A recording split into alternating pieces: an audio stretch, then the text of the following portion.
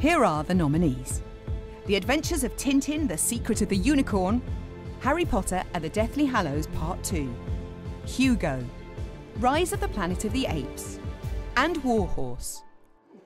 Well done. Well done.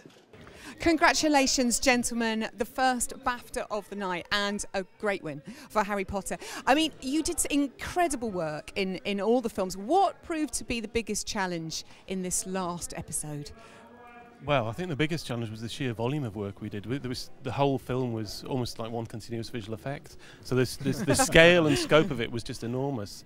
You know, I mean, some of the work is obvious and some of the work is not so obvious. Mm. Flying around on dragons is more obvious, but the whole of the environment, the world that was created. It was all filmed in Watford. That's yeah. the point. I know. all the Harry Potter films have, um, you know, uh, been shot in, in England. A lot of work in England. What have you guys personally done? Do you think for the um, special effects community now with your work? I think we've. I like to think we've all bought the brought it forward because in the 10 years of Potter yeah. there's been an enormous change in the technology, both in the visual effects, in the practical effects, in all areas.